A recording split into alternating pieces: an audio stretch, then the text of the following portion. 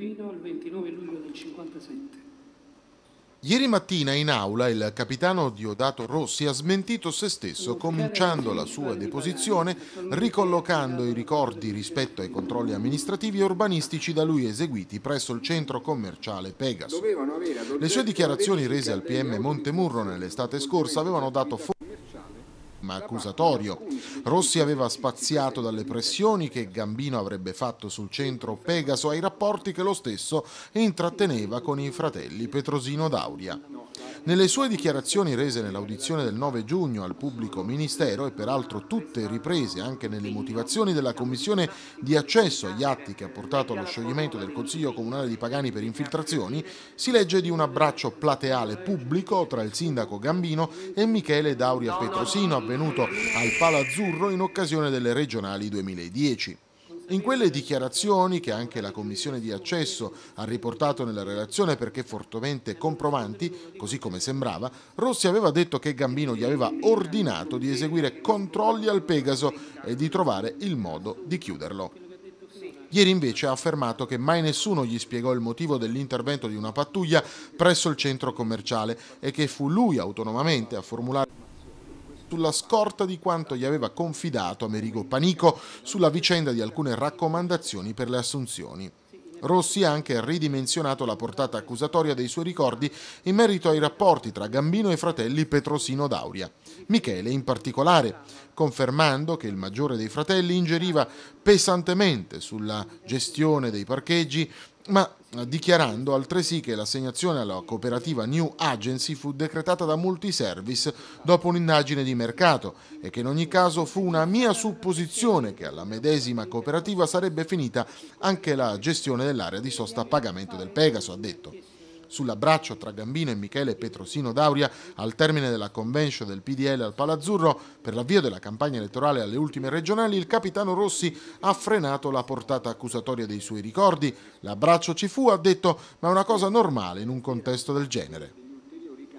Ah, il test ha usato l'espressione volontà punitiva ed ha usato l'espressione che la volontà punitiva collegata tra l'altro a una specifica circostanza, ossia quella di richieste di eh, assunzione di personale non soddisfatte, vi era stata una eh, necessità di intervenire e di punire il panico.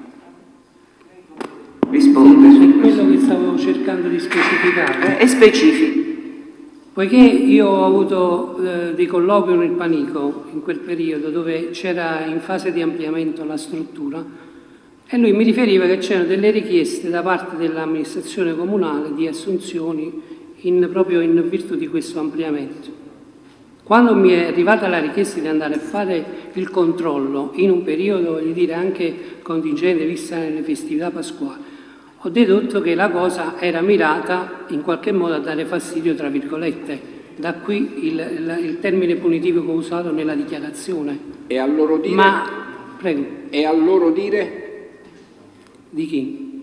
Nel suo verbale le dice, poiché il panico americo non si era mostrato a loro dire disponibile... Ma queste erano, erano affermazioni che io ho dedotto dal panico, ho dal panico che si lamentava con me del fatto che eh, secondo loro gli amministratori non avevano avuto la giusta, come dire, eh, parte in quello che in effetti avevano richiesto rispetto alle assunzioni.